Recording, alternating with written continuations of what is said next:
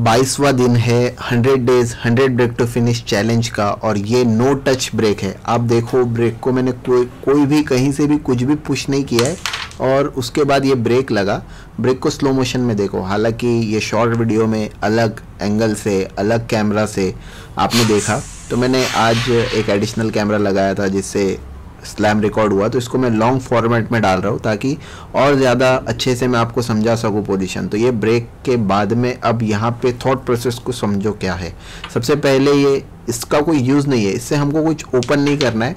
एक और थम्मे कॉइन है, वो कवर होगा। उसके लिए जितनी जा रही है, उतनी मार लो। कोई अगर लॉक है तो रखना है। तो ये दूसरी कॉइन है जिससे कोई लॉक नहीं है तो भी इसको मतलब मार देंगे। उसके बाद अब यहाँ पे जो मैं देख रहा हूँ ना, एक कनेक्शन बीच में शॉर्ट है तो वो है या नहीं तो वो भी मैं देख रहा हूँ। तो तीसरी जो कॉइन जा रही है, वो ये है कनेक्शन तो ये जो डिस्टेंस देखो कितना ज़्यादा है। तो पीस टू पीस कनेक्ट करने के लिए उसको अलाइनमेंट अलाइनमेंट करने वक्त लगता है तो वो अलाइनमेंट किया। उसके बाद ये अलाइनमेंट करने के बाद देखो मैं कौन से शॉट की बात कर रहा हूँ।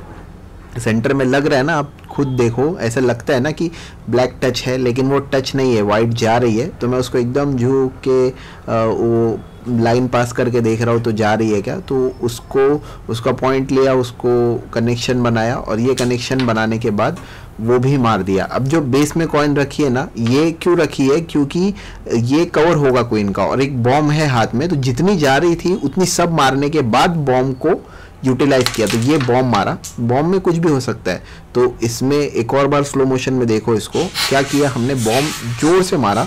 ज़ोर से मारने के बाद बॉम्ब में एक एडिशनल वाइट चली गई। और ये जो दो वाइट और क्वीन बची है और एक जो हमने थम में रखा था कवर के हिसाब से कवर के लिए तो वो तो रहेगी। तो ये दोनों क्लियर हो गया बॉम्ब से। तो उसके बाद इसको सिंगल सिंगल मारेंगे। उसको सिंगल मारने के बाद क्वीन मारना है। तो दोनों स्ट्रेट कॉइन है। पॉकेटिंग करना है। बस ब्रेक टू निकल गया है।